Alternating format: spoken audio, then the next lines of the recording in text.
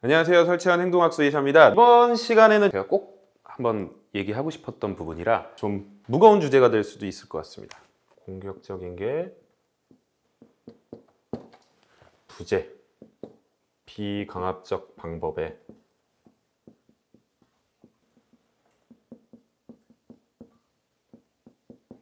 걔는 사람이 아니니까 걔는 사람보다 하등한 동물이니까 이런 모든 편견을 내려놓고 영상을 끝까지 보신 후에 댓글을 달아주시는 걸 부탁드립니다. 토론이나 우리 문화를 바꾸고 방법적인 부분에 대해서 정중하고 건설적인 댓글은 아주 환영하고요. 그걸로 모자르다 생각들면 저희 토론에 한번 초대를 하도록 하겠습니다. 그리고 그 토론은 저희 유튜브에서 라이브로 송출을 하게 될 거고요. 인신공격성 댓글이 있다면 무관용 원칙으로 대응하겠습니다. 그리고 거기서 번 합의금은 우리 유기견들을 위해서 다 쓰도록 하겠습니다.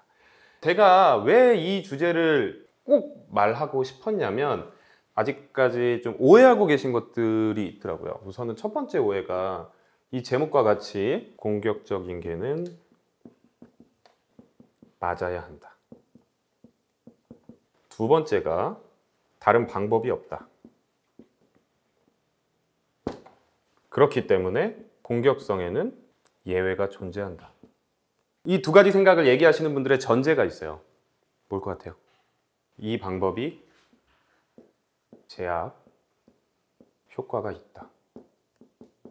이게 전제가 되기 때문에 많은 분들이 이렇게 얘기하고 계신 거예요. 생각을 한번 해볼게요. 제압적인 방법을 쓰지는 않지만 이 제압을 하는 방법이 효과가 있다라고 한다면 저도 써보고 싶을 수도 있을 것 같아요.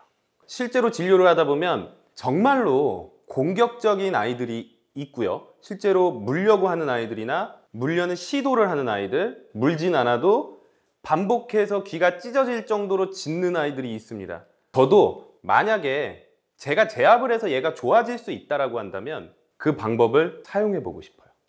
간단하잖아요.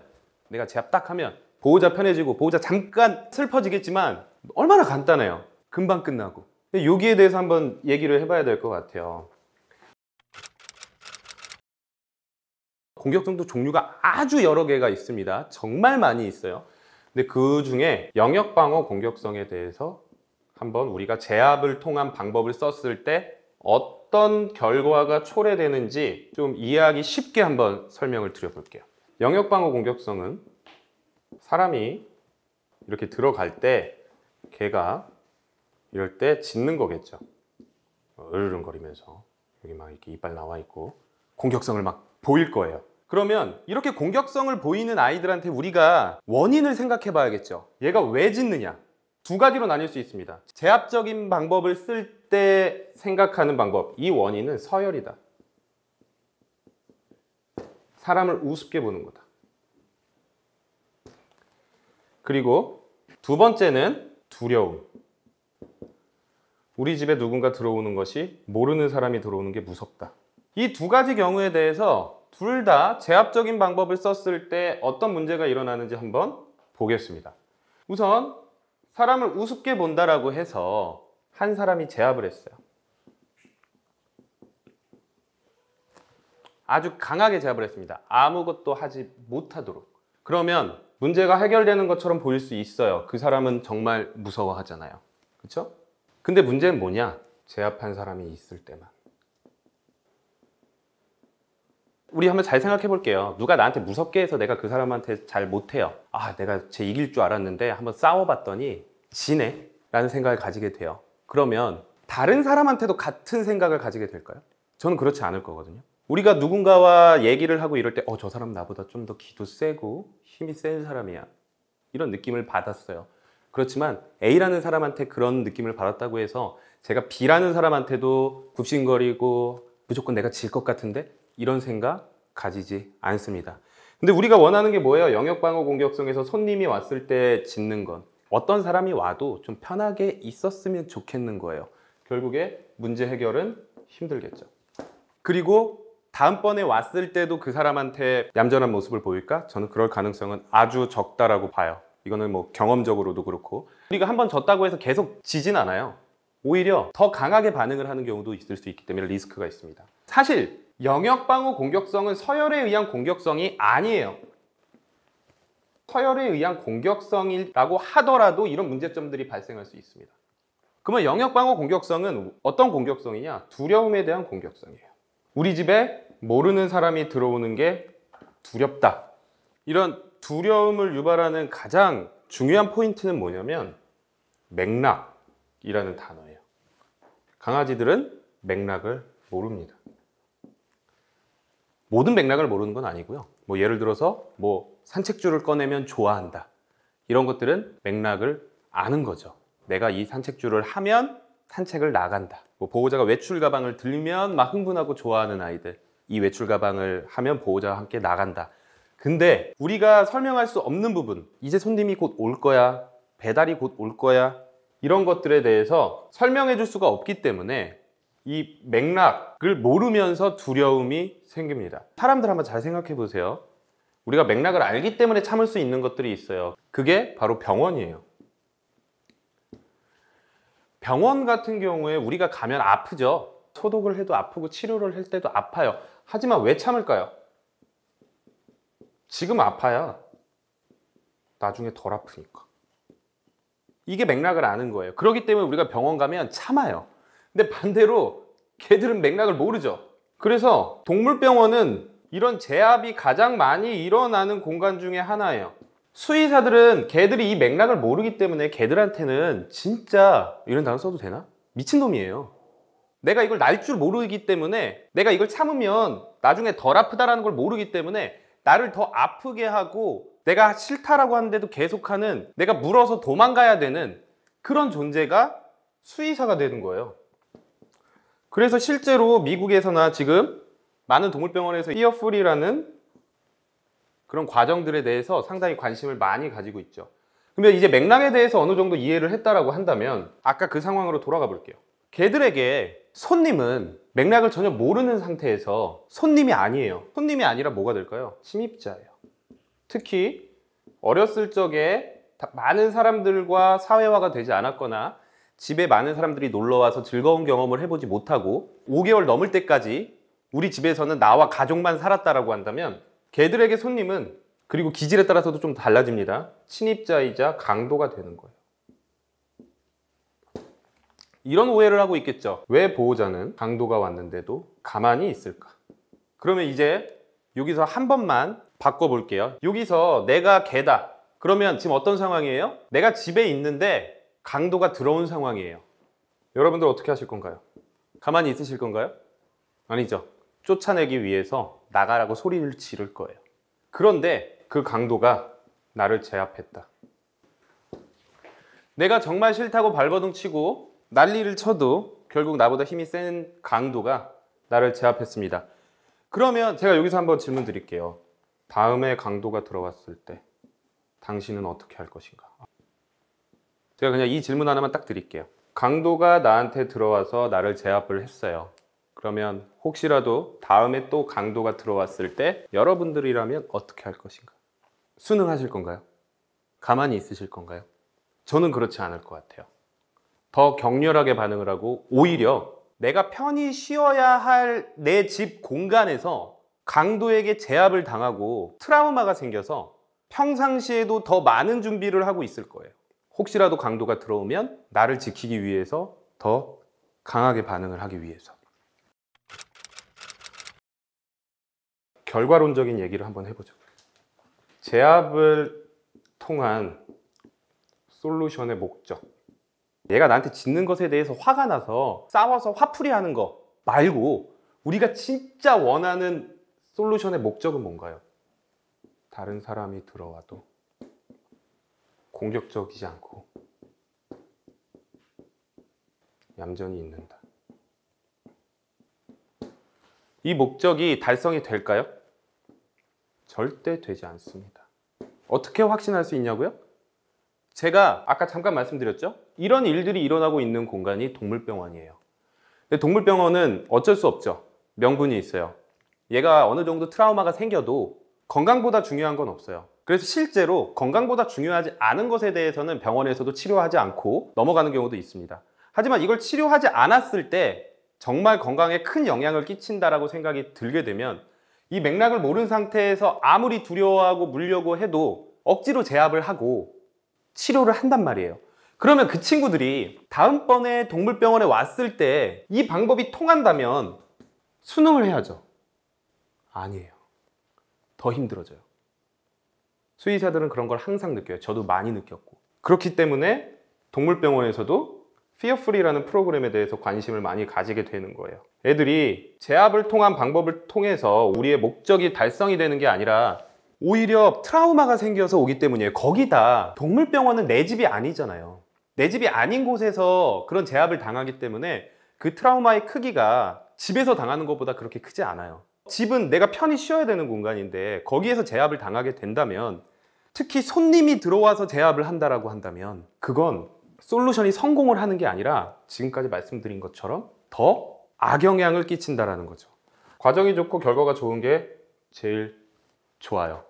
그럼 더 세분화를 해볼게요. 과정이 안 좋아도 결과가 좋으면 좀 양보할 수 있을 것 같아요.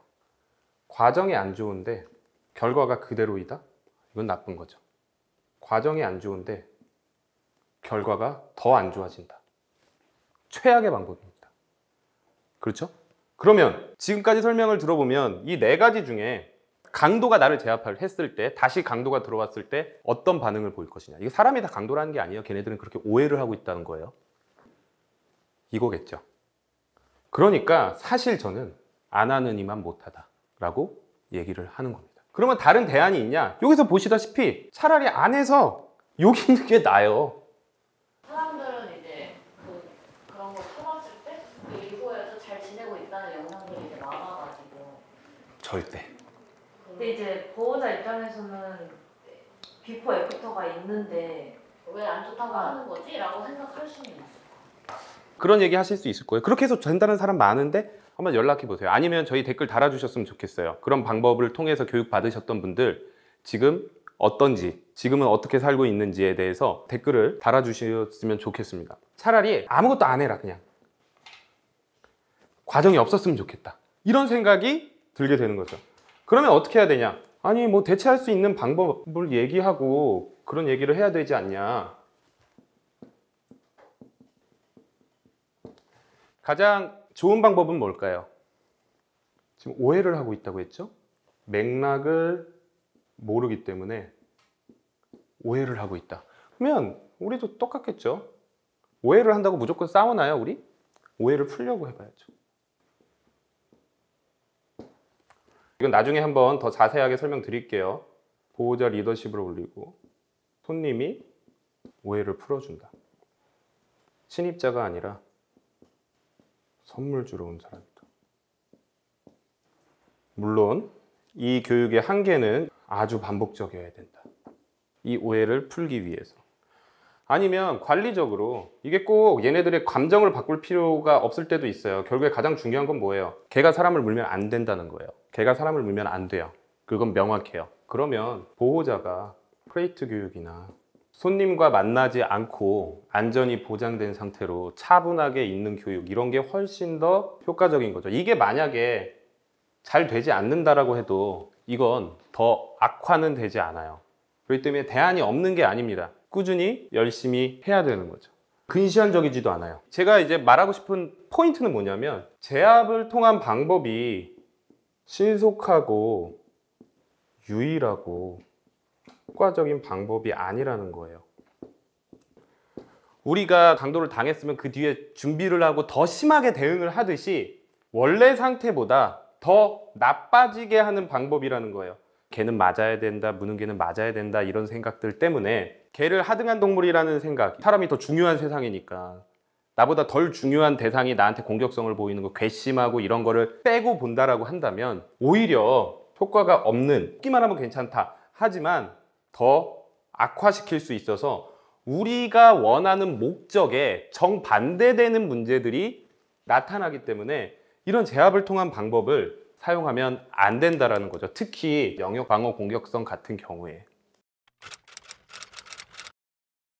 그래서 제가 오늘 이런 얘기를 하면서 분명히 제가 아무리 이렇게 논리적으로나 이성적으로 설명을 해도 받아들이지 못하시는 분들이 있을 거예요. 그런데 한 번만 모든 것 다 빼고 강아지들의 심리 상태에 대해서 한번 생각해 보셨으면 좋겠어요. 만약에 강아지가 이런 맥락을 모르기 때문에 이런 오해를 하고 있고 이런 오해 때문에 이런 행동을 하고 있다라고 한다면 제가 말씀드린 것처럼 절대로 그렇게 제압하는 방법은 쓸 수 없어요. 강아지들의 심리에 대해서 이해를 한다면 예시를 하나 더 들어볼까요? 영어로는 conflict aggression이라는 게 있습니다. 갈등에 의한 공격성. 이건 주로 어느 때 나타나냐면 보호자가 무언가 하려고 할 때. 무언가는 발톱, 귀 청소, 목욕 등. 여기서도 똑같아요. 이 문제는 이 conflict aggression, 보호자가 무언가 하려고 할 때 주로 나타나는 공격성은 왜 일어나냐? 맥락을 모르기 때문이에요. 원래 개들은 이런 거를 하던 동물이 아니에요. 사람과 살면서 하게 된 거죠. 그러니까 이걸 왜 해야 되는지 몰라요. 그래서 조금 예민하고 특히 뭐 사회화 시기 때 보호자와 좀 긍정적인 경험을 하지 못한 아이들 같은 경우에는 이렇게 생각하겠죠. 나는 싫다고 표현하는데 왜 자꾸 하는 거야? 이것도 오해죠. 필요한 건데. 해야 되는 건데. 그러면 이 상태에서 뭘 가장 많이 해야 될까요? 입마개. 병원에서처럼 해야 되는 거를 얘네들이 이해 못해서 꼭 해야 되면 입마개를 하고 빠르게 끝내야 돼요. 그럼 입마개 교육할 때도 억지로 하면 어떻게 될까요? 제 앞에서 망해요. 다음번에 이것만 봐도 도망가요. 그래서 저는 항상 그런 얘기 하거든요. 9대1의 법칙. 입마개 쓰고 아홉 번 재밌게 놀고 한 번만 싫은 거 해라. 그리고 입마개 교육은 스스로 들어오기. 이거는 충분히 할 수 있어요. 단 시간이 걸리죠. 강아지 기계 아니잖아요. 우리가 뭐 부품 끼워 넣는다고 하루 만에 바뀌지 않습니다. 제가 세나게 나오고 있지만 제가 어 이거 PD님들한테 혼날 수도 있지만 또 동물 프로그램들은 저희 세나게도 마찬가지고 축구 하이라이트 필름과 같아요. 하루 만에 모든 게 편집을 잘 하면 사실 되게 좋아진 것처럼 보이지만 저 같은 경우에는 보호자분들한테 다 연락 드리고 와요. 의지가 있으신 분들은 열심히 해보자. 그래서 실제로 저희 트레이닝 센터와 진료실에 와서 꾸준하게 치료나 교육을 받고 있는 친구들도 많고요. 절대로 그렇게 하루 만에 좋아질 수 없어요. 그래서 방송적으로도 맞지 않는 아이템들은 저는 이제 가지 말자라고 얘기를 해요. 하루 만에 조금이라도 좋아지는 모습을 보여줄 수 없으면 사실 방송적으로는 그렇게 맞지 않잖아요. 그래서 이것도 마찬가지예요. 입마개를 억지로 제압게 해서 하면 오히려 더 안 들어가면서 문제가 생길 수 있다라는 거예요. 동물병원이나 미용실이나 이런 데서 안전하게 좀 해달라고 말을 할 수 있지만 이것도 억지로 하는 순간 바로 문제가 생길 수가 있습니다. 마무리를 한번 해볼게요. 정말 길게 얘기했지만 제압을 통한 방법은 과정도 별로고 오히려 더 나쁜 결과를 초래할 수 있다. 그래서 여러분들이 그런 오해를 하지 않으셨으면 좋겠어요. 정말 저도 무는 게 싫어요. 무는 게 싫은데 저는 목적을 생각하는 거예요.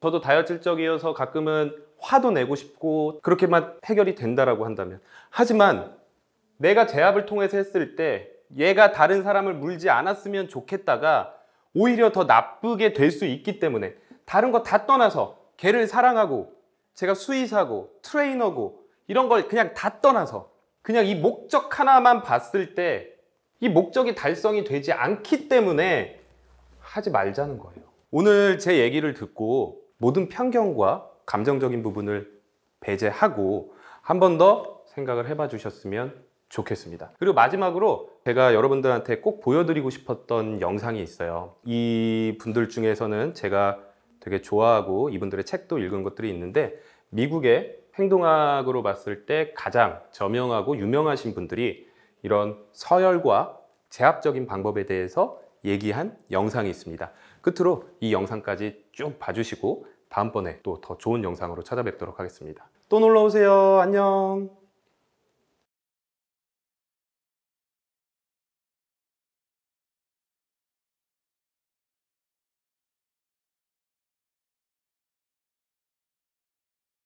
Most of the studies that have tried to pin that down and have tried to identify whether the animal's actually spiteful or actually guilty have come up negative. Dogs who destroy when you're when you've left them alone. They're not doing this out of spite. They're doing this because they're distressed. Your presence, entrance, arrival equaled punishment. And so that's why they say dogs get guilty looks when people come home. That's because you helped him create the wrong association. Acting out of spite is one of those things that goes with the dominance, you know, because it's all about you. It's not about the dog. How you approach behavior is an ethical stance. Look at uh, what's his name, the little tough guy. Caesar Milan. Yeah. I mean, for him, it's all the fact that he's a little guy and he he dominates. People just think they got to force uh, dogs to exert dominance over them. That's rubbish.